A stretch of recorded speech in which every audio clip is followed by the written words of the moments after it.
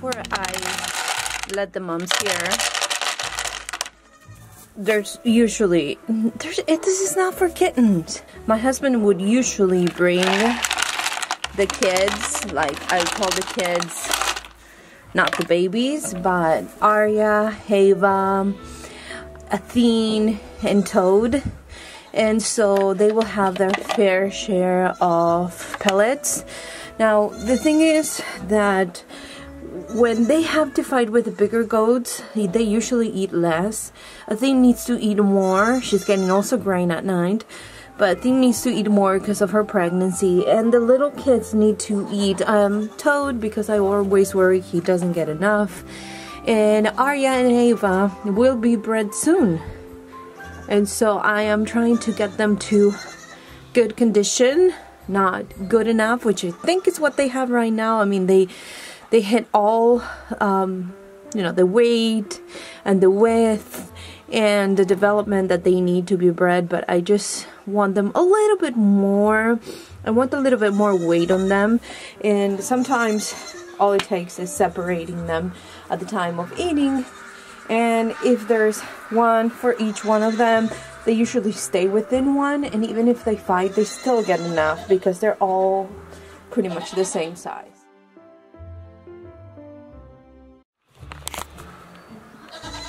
Kitten, are you missing Clara? He's so bored. He's waiting for Clara or Mocha to get out so they can chase him. He lives for them chasing him. But don't worry because when he can't get in the milk room, he'll come where the hay is in this little storage area and he'll hide away from them if he wants to take a nap or if he wants to just to chill out of the rain you still can do it. Now, since this is usually a job of two for us in the morning, my husband helps with what's happening outside while milk. Um, he'll usually just lock this until he brings the four kids, then lock it again and leave the moms outside. Okay, let me go get the girls. Hi, good to see you. You're a good kitten.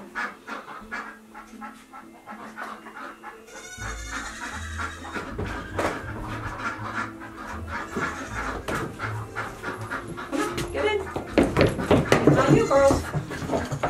Usually Clara is the first one to get milk. Um, she always fights to be the first one to be milked. The interesting thing is that she won't fight for other things to be the queen. She'll fight for this one thing. Looks good.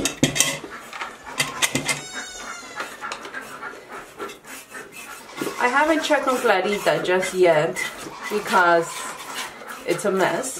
I put the four kids, Toad, Athene, Arya, and Ava. They all were put into that room in the back. So they have their pellets and they have hay so they can start eating and have a head start uh, before before the moms get there. Uh, again, it's not that they don't eat, it's just that I like to give them a head start in the morning and just make sure that they eat the most, just the four of them, and then the moms can get in and eat. There's hay for everyone, and the pellets that they're receiving over there, now the moms get a lot more here on the stand. So it's not that I'm being not fair. That's Gaia. Gaia and Briere are the ones that like to scream their heads off. I almost feel like they think that I'm gonna forget that I haven't milked them. Um, Annabelle is loud and Mocha is loud, but right now you can't even hear them. They're just upset that they can't get into the feed room in the back they eat with the juniors or the kids. And so that's all they care about. They really don't care that uh, they know that I'm not gonna forget to milk them. But Gaia and Briere, being first time moms, it's like they think I'm gonna forget. But trust me, I want I want every last bit of this milk. We've been making all kinds of um, cheeses, been making some and sharing with family. When my son came to visit, he took some back home. Now I want to do the same mozzarella that um, Sage and Stone Homestead shared, uh, which I've done before. Um, but I want to leave them, well, I'll, I'll share with you if I like it, but I one of the things that I like to eat for snacks is um, string cheese. It's one of the things that is really filling and it's very simple. I mean, it's just one of those things that you open the fridge, grab one and go. So I'm thinking that I can do the same with the mozzarella, with that kind of mozzarella. Now it will require me leaving it in some of the whey, which I don't mind uh, when I eat it, the, the, the store-bought one. So I'm going to try it with the natural whey, with the cheese made at home. The cheese itself is amazing. The mozzarella cheese, I never use it for like mozzarella itself. I can never make it into a sandwich because we love to eat it as a snack. Like we cut it in strings. That's why I was thinking maybe that's what we need. We need to make like string cheese. Um, we cut them into like thin wedges or you know different shapes depending on the mold that I use and um, we just eat it as a snack. Uh, sometimes we eat it for breakfast, that, some oatmeal, cream cheese, maybe toast. But it's really filling. It's natural, of course. It is homemade. So I feel a lot better if I could make the cream cheese, the cream cheese, the string cheese at home. So I'm gonna try it. Uh, I think it's gonna work. I love Clara. At this point, I can't remember the date that she freshened. I have that on my records, but it was sometime the first week of March. And by now, she said five weeks freshen, maybe four. Can't remember the exact dates, but she's giving me three cups every day. And uh, that is really good uh, for what we need so I'm excited about that. She's the top producer of all the herd so it's always encouraging to bring her in first in the morning because it kind of you know it goes up into the milk bottle and you're like excited about milking the rest I'm getting a full half a gallon and uh, usually half of a quart. She eats like she produces as well so I'm not gonna sugarcoat it for you. I mean she's done right now. So she does eat to produce that much milk. I don't skimp with Clara. As far as, oh, you know, you don't get any more when you're done because she keeps giving me milk and giving me milk and I am excited. My hands cramp so bad. But I told myself I was going to hand milk for the first two months. And that's what I'm doing. One of the things I was told when I got Clara is that she was um, very likely to try to retain a lot of milk for her kids and she had a lot of what Grisha called udder retention, which she does. It's, you know, 100% true. And I honestly thought that's just the way that she was until I watched a video recently by Blue Cactus Dairy Goat and she was showing that instead of bumping the udder, she was kind of massaging it like this. This is a life changer. You can feel how you loosen the milk that it's kind of stuck in the top. I and, and at the same time you can feel the teats fill in. Once once I think I'm done with Clara when I do that, she still has lots to get. Yeah, Clara, that's you, Mama. She looks at me like, yes, you're asking for me. And mostly it's on this side, this kind of side of her udder. And uh, I don't think it's anything bad. I don't think she's doing it on purpose.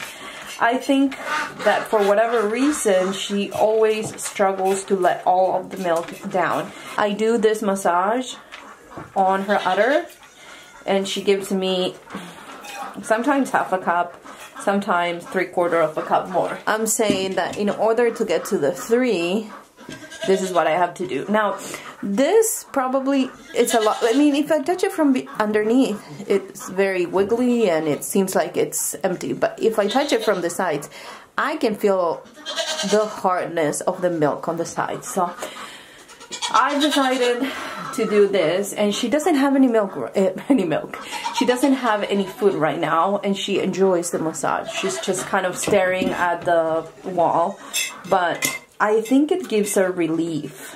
I think that for whatever reason she's retaining that milk that I don't I personally don't think she's doing it on purpose. You know this is something that happened to her all the time. And I wasn't able to release that pressure before until I started giving this kind of side massages. And sometimes I go behind and up front. And you don't really have to be you know rough about it. You just have to and you'll feel as you touch you'll feel with your fingers where the milk is. And again I'm not taking her kids milk. This is letting me, she is letting me get this milk. She's not moving her legs, she's not upset with me, but it, once you're done, I shouldn't do that under, when I have the bucket under it, because you will get little particles of things as you do this, but this gives her such a relief, and I think it's only because, and I'm going to try to show you her face right now. Uh, that's her face right now as I massage her. It gives her such relief that she enjoys it. Like sometimes she'll start chewing the cud, like she's trying to do right now. This is what she likes. She enjoys this massage. And I think it's because she is such a high producer. Um, at least, you know, in my herd, she is my top producer. That it's like her body uh, collects it or keeps it longer. And um, that is only happening when, again, she's like in a trance. And this is only happening when I milk because if she has kids on her 24-7, she doesn't have this problem. See now, her udder is soft on the sides. Not a 100%. I could keep doing this for a few more minutes but on the left side, so on this side, it is completely gone. On this other side, I can still feel a little bit of the tension and if I keep massaging it, which I need to move my bucket for, the stream is as if she hasn't been milked. Now her udder is soft and perfect and beautiful and she's ready to go. Today, um, I'll hope, hopefully I'll do another video, but I'm gonna shave her. I'm gonna shave her back. I'm gonna clean her this one last time. Um, she doesn't have anything sticking or anything, but sometimes it gets dry, so I'm gonna I'm gonna try to do a little cleaning and moisturizing. They're upset out there. And um, hopefully I'll bring you along. She also has very long hooves, so I'm gonna trim her hooves as well, and we'll we'll do kind of maintenance today. We'll do selenium and um, yeah, all those things that need to happen every month. What do you think, Clara? You ready to go outside? All right, me too. I need my next victim. Come on. Come on. Let's go. Maybe Briere wants to come in. Want to come in, Briere? Or who wants to come in? Well, you know where the hinges are. What happens in the hinges? Nobody gets in through the hinges. Nope, nope, nope, nope. That's what happens.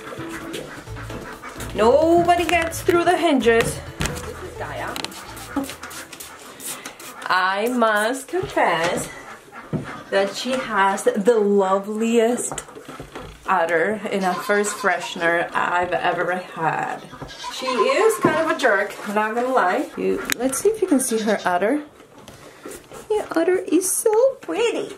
Open your legs, lady. But uh, the only thing I, you know, it, it's getting better because remember that first fresheners change their udder every day until they get to six weeks. That's when they kind of show you a better representation of what they're gonna have that can improve with time. But, you know, that's kind of the udder, the best that they're gonna look with their udder for the year, for that year. So at six weeks, you should always take pictures if you're gonna take pictures for your website or if you're gonna take pictures to show uh, potential buyers you shouldn't take a picture when they're just freshened. Some people think, oh, that's probably where they have the most milk. Trust me, it's not. And I've seen people taking pictures of first fresheners as soon as they have their babies. And you're not doing any favors because they're very awkward. They have a different shape that they're going to have at six weeks. I'm telling you. And so I guess what I'm trying to say is if you want the best udder in a picture, um, then wait until they're six weeks fresh. Uh, if you had goats before, you probably know that's when they have the most milk, so their udder is gonna look the biggest at that point, and yeah, so that is why I am shaving their udders and I'm cleaning up their back ends, moisturizing it, putting coconut oil. Gaia. This is a nonsensical milking way, but uh, she has great days where she just stays. And then she has other days when she sees a kitty that he loves to come and fight them as they can't move in the milking stand. And by fighting them, I mean he's just trying to scare them. Because he thinks he's a jokester. He doesn't understand that he's just a kitty. So anyway, um, Gaia is the only thing that I know gets better with freshenings is her teat length. It's not the shortest. Um, Annabelle had the smallest teats, like shorter thing, harder to milk. Milk would go and everywhere and anywhere, but where you wanted it. And um, so the, I I know what short teats look like. Trust me. Is there something worse than Annabelle first first freshening? Probably, but I don't know. I can tell you from experience. So. But Gaia has the attachments, the fore udder, the I mean, everything that I wanted to improve from her mom, I, I got it with Gaia.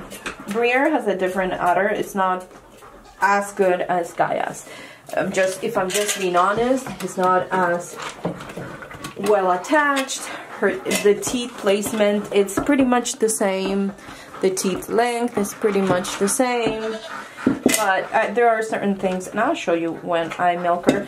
Like, it gets to a point where I'm like, hey, Gaia, Gaia, Gaia.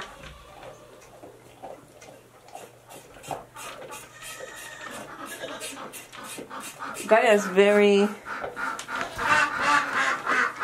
Gaia is very independent. She is bossy and she's a leader, like a born leader. Since she was born, she has this personality that she's going to take on the world and you better listen to her because nobody's going to tell her what she will be doing.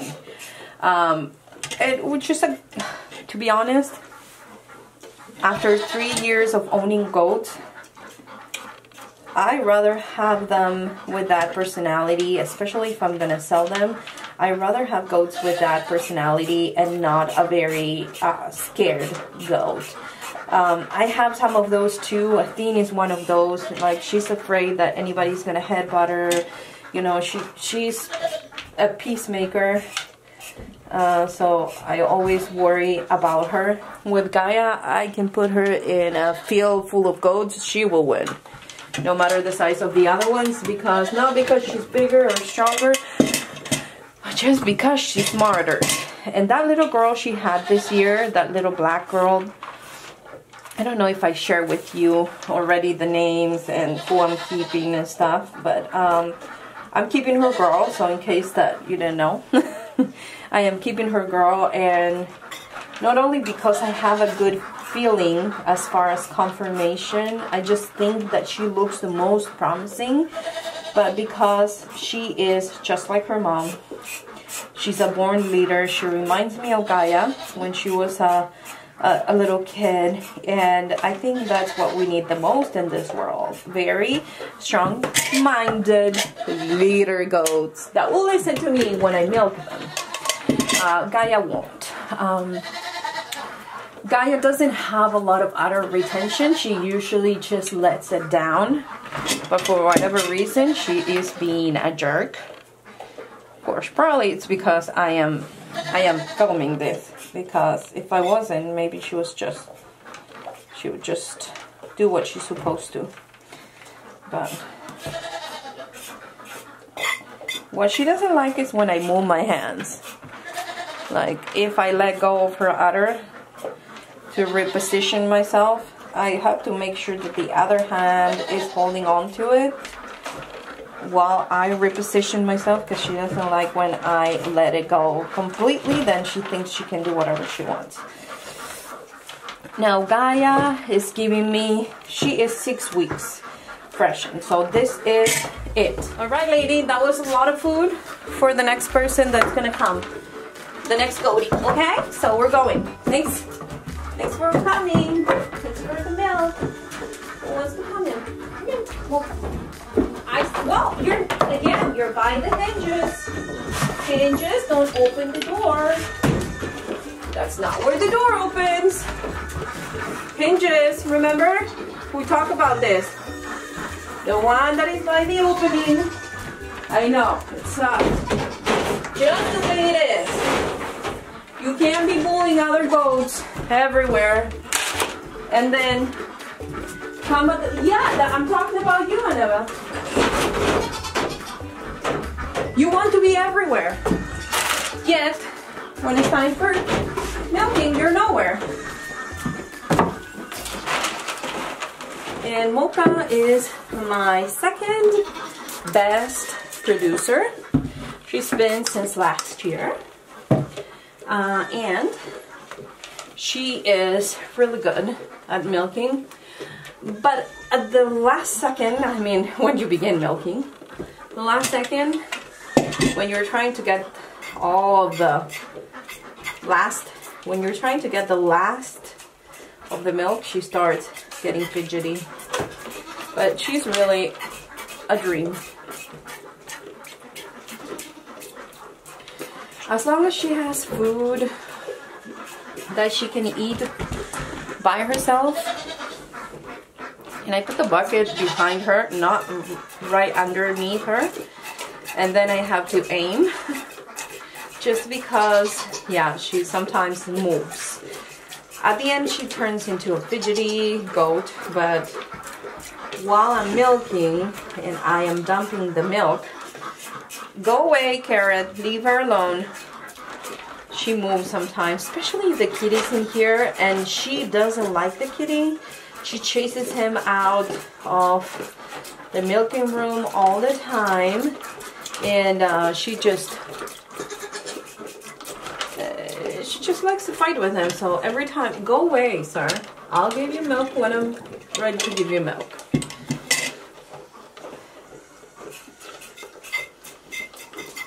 I try not to get distracted which is I guess a tip I can give you if you're starting milking. I try not to get distracted the first you know few minutes that the mom is the Look at this kitty. You are a weirdo. Karen, go away. He's like, you're not giving me milk? I'll find it. I'll find it, lady. You can drink the milk on the stand. What I was saying is, if you are starting to milk, what you should focus on in the beginning is to milk as fast as you can because that's when they will be entertained the most. So I usually just cramp my hands in the first couple of minutes of milking. Uh, milking shouldn't take you more than five per doe. Uh, depending on your experience, it could be a longer process. Like I remember when I first started, it was uh, such a long process for me. So yeah, don't get discouraged. You'll get it eventually. Just try to, you know, the easiest milk is the first one to come out. So if you focus on getting getting it out as fast as you can, then you're gonna make your life easier to finish milking. Like right now, I need to massage her udder. Now, Mocha is has the same thing that Clara does too. She has a lot of milk retention or udder retention um, and it's all up here in her udder. I don't know if I can show you. It's on the sides up here. So I'm telling you that this tip and this I'm, gonna find the video and I'm gonna put it down below it was a video that she was sharing uh, about you know, the first milking after they have kids. So maybe, you know, that would be helpful for you if you haven't watched that video. I feel like sometimes with those channels that have tons of videos, you sometimes you feel like you've heard it all you've seen it all when they are doing some kind of tutorial. But I'm telling you, sometimes there's a little tip and thing that you needed and I needed it. Like I thought that that was such a great piece of information that I needed and uh, it's been helping me a lot with Mocha and Clara. Not so much the rest because they don't, I mean, they have very soft udders and they let their milk down and again, if you think about it, my top producers are Mocha and Clara, and they're both the only ones that have this problem. No Annabelle, no Briere, no Gaia, so I assume that whatever is happening to them is because they have, they produce so much milk, which kind of worries me because I don't want them to get mastitis and, you know, that is a real concern. I've seen people that they don't do much after they start drying their does and if I didn't do much after trying to dry Clara or Mocha, I can assure you that these udders would get really, really sick because they can't help it. They produce and produce and produce. And, um, and again, same thing as Clara. As long as I am providing nutritious food for them, their milk. Their milk tastes good, they're producing a lot, and everyone is happy. If you are trying to save at the time of milking, or you say, well, she needs whatever, a pound per cup, and you just go by the rules and not listen to what your doe is telling you, sometimes that will be a big factor on the success on what you're trying to achieve. Either good tasting milk, um, the fact that you want to make cheeses and butter and all those things. And so it's very important. Now, the difference between Clara and Mocha too is that Mocha um, loves to keep a lot of milk for her babies. And Clara does too, but not as much as Mocha. So, since she's eating, I'm going to keep massaging and I'm going to keep trying to let the milk down.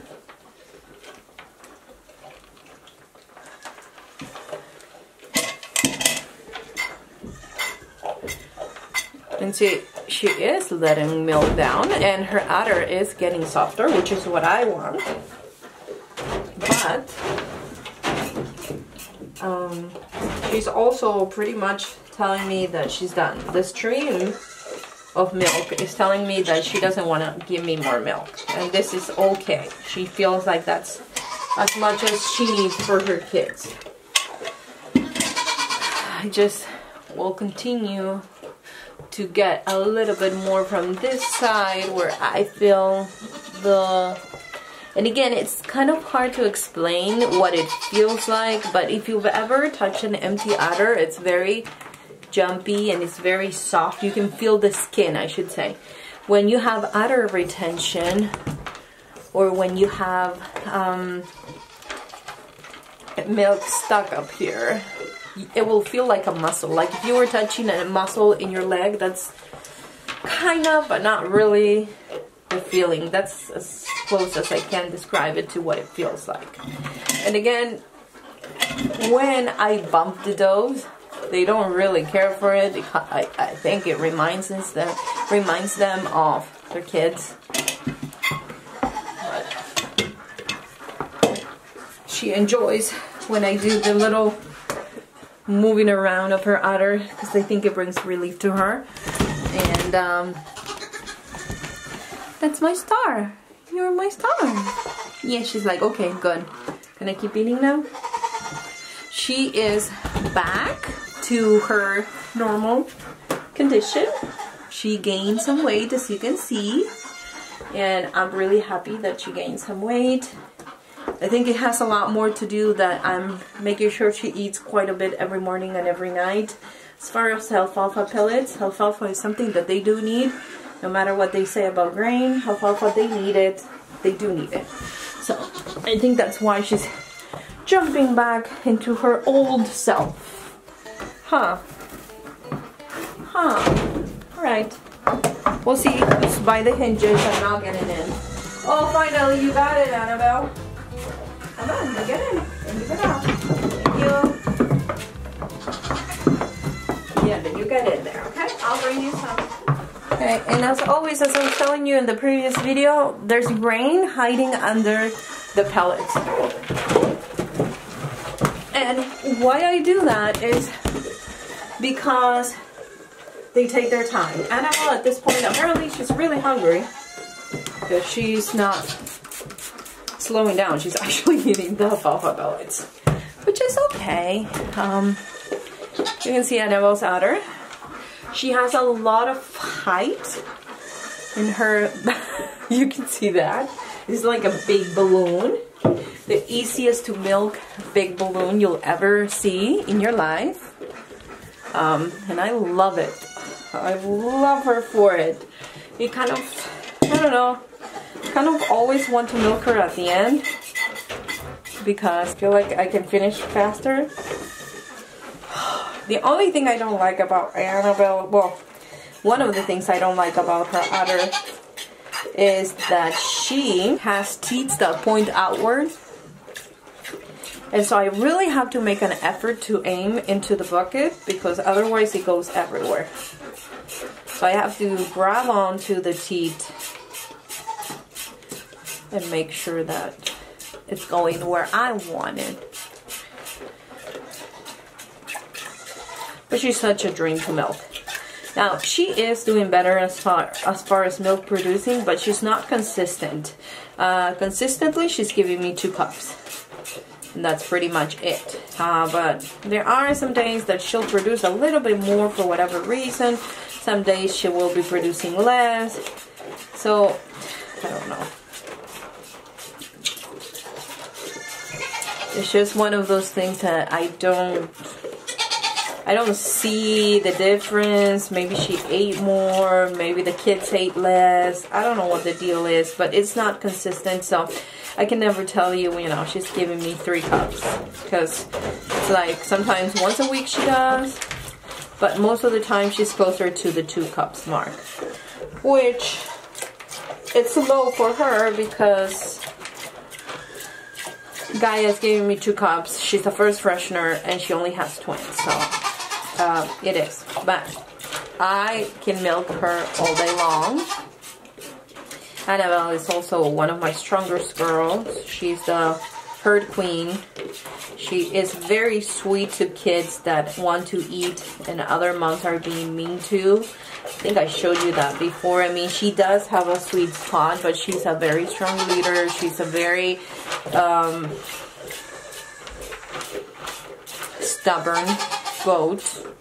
Um, and she, but for the most part, she listens. And, you know, Gaia is a little bit more stubborn than she is. The problem with Gaia fighting with Annabelle is that Annabelle will not back down from a fight. She'll fight until she's bleeding, and Gaia is not at that point yet. So, they're both struggling in the power world. See, that was almost two cups. But then, once she gives me those initial almost two cups, then I have to work a little bit more intensely to make sure I get out of the I get out the rest. And I think it's mostly because of my fingers are tired, but who knows. But for my best producer, she is kind of in the third spot along with Gaia. Now, granted, Gaia in that spot because she's more consistent on what she's producing compared to Annabelle. But a third freshener versus a first freshener, yeah, that's not great. But I love Annabelle. I love how easy she milks. And I really want to get girls out of her that will have her skin texture, like the texture of her udder, her daringness, uh, her height in the udder and um,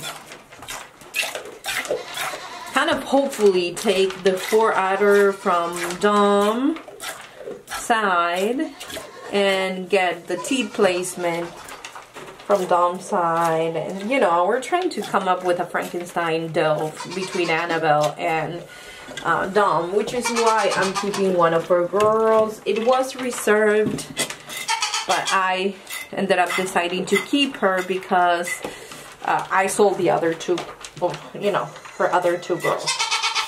So I was like, am I really not gonna keep one of Annabelle and Dom, which is my most anticipated breeding as far as improving our herd.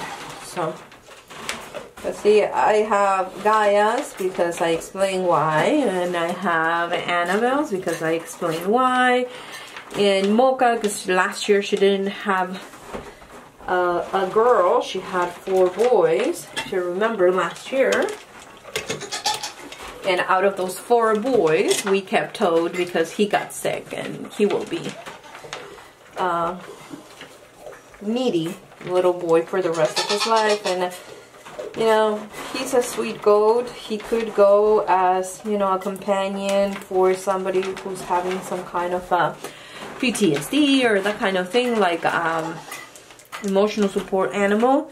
But that person would have to uh, know about goats. I just, I will not sell him to somebody that is not experiencing goats.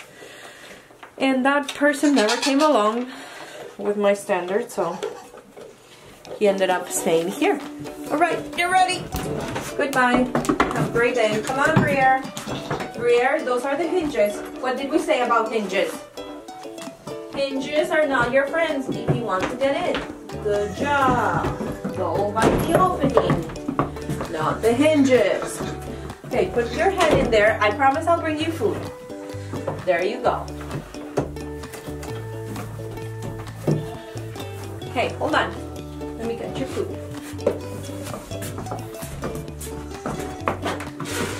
You don't have to look. Not like I'm gonna trick you.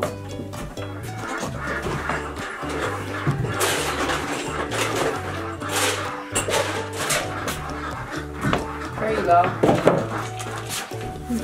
Clean a little bit here. Okay, this is Briere. And she loves loves to put herself against that thing. I don't love it. I'm trying to, to have her move all the time. Oh, something I wanted to report back. about Briere. Remember I was telling you that she has a pocket in the front? Well, let me tell you something. It's gone. So, there you go. I didn't even have to wait for other freshenings. It just went away. I guess it's just because now she has, she's producing more milk and so she filled that pocket with milk. I don't know. Could be that. Could be other things. But she squats while I milk her, but still okay. Benino, and shut the Benino. Yeah, you did not have seven kids. One, two, three, four, five. Those are not all your kids. Those are definitely not all of her kids. This is Clarita chasing Annabelle. Okay, so this is what I was saying. See if I can focus on something.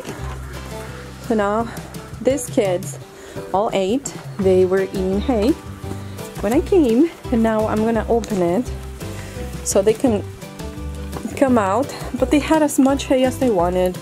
They had their own grain. And now I'm gonna open this so the moms can go in, they can come out. And uh, hopefully Clara will get out of the way. She's feeding her kids right there. Hi children. Hello. Do you guys have good breakfast? You can see that he did. Look at Mocha. She's trying to stay for her kids, but then all the other kids come and they want to drink from her and she starts wondering, look, look over here. She's like, those are my two. Are those your babies, Clara? Are those your babies? Good job, Mama. Feeding children. Oh, look. Annabelle brings like 27 kids and they're not hers. okay. Yeah, she was feeding Captain America and her black boys. Let me open the gate so they can be in there because it's raining right now.